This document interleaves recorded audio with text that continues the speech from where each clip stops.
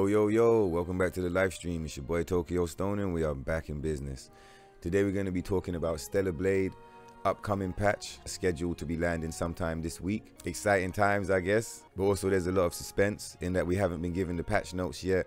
We haven't been given a date as to when the patch is going to drop. And so, you know, with that said, we don't know when or what the patch is actually going to look like. For people playing on Censored Patch 1.2, the update is probably just a reason to celebrate. I doubt there'd be anything bad in there. You're probably going to get Boss Rush, maybe some costumes, maybe some little, um, you know, quality of life updates or like, you know, little bug fixes. And if you're really lucky, you might even get Uncensored Holiday Bunny added into the main game. Uh, yesterday, the character model Shin Jae-eun, she posted a picture of herself in the uncensored Holiday Bunny outfit on Instagram, I believe. And the official Shift Up Stellar Blade account, they like retweeted the picture. So given that the only thing we've been given so far is the picture of the Naytiba wing, right? and now they've also reposted a real world, you know, IRL image of the Holiday Bunny. It kind of implies to me that we'll get the Boss Rush and maybe Holiday Bunny in censored patch. But yeah, even though, you know, the, most of the community is expecting a boss rush mode, we have only received the image and we have not got the patch notes yet.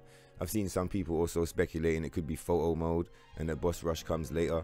So, uh, you know, just keep that in mind. We literally have no idea what's coming. And uh, yeah, just look forward to it, I guess. And so yeah, now that the good news is out the way, there could be some patches coming through. So I think like for God mode users, it's realistic to presume that if not in this patch, at least in one patch one day, the God mode will be, you know, patched out of um, updated version of the game. God mode will always be available in 1.0, but I, I, do believe they'll patch it out of the updated versions. Only reason why I think God mode would get patched out is because it's such a destructive bug.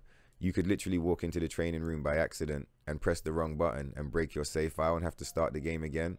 I think like from that from the perspective of a game developers, that's that's pretty bad. You know, that's not good. So I think God mode is almost definitely going to get patched out. Another thing they might try and take a look at is the down patch method itself, like getting from 1.2 to 1.0. So yeah, the reason why I think like save file incompatibility could be a thing, if not in this update, then in a future update, is just because the down patch method is basically like it's kind of destructive if you don't know what you're doing or if you're doing it by accident. If you were looking for version 1.0, then like you'd be really happy, right? But if you were actually on 1.2 and you stumbled into 1.0 if your stats were too high then your stats are going to break your save file is not going to load properly and you know i do think as developers you'd probably want to patch that out of the game also goes for the god mode glitch which is actually really easy to do by accident. There's a guide on the channel showing you how to do that if you're not familiar with that glitch already.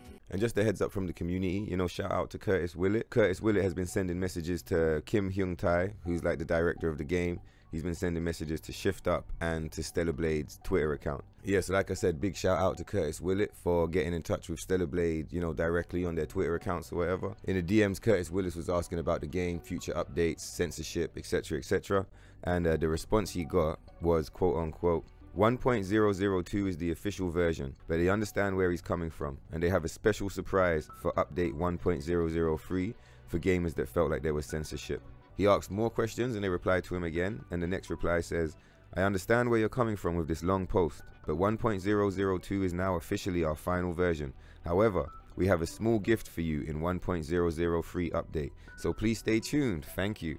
So for players that are on 1.2 or the digital version, that does sound hopeful that at least they're probably going to add the holiday rabbit back in with uh, version 1.003. It's quite difficult for them to not add the holiday rabbit back because they've already come out and said that it's, it's not censorship, right? It's not censorship. It's actually uh, just their artistic decision. So if it is just their artistic decision and there's no censorship involved then it should be no problem to switch it back right? So yeah it's interesting that we got that reply you know saying that there's a gift in there for players who felt there was censorship. I think that's pretty cool. We just have to wait and see what happens. Anyway i hope you guys found it useful. I hope you found it helpful. Hype and describe all of that good stuff. Links in the description. The waves volume 1 the ocean that's out right now. Stream and download the album to help support the channel. Stay lit take care of yourselves and i'll catch you lot in the next one. Peace